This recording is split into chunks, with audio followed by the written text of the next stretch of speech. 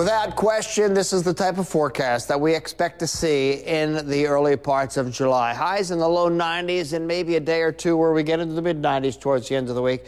Uh, rain chances are low, uh, but a pop up isolated storm cannot be ruled out. I don't expect anything wide in coverage, but certainly the 4th of July into the weekend looking hot.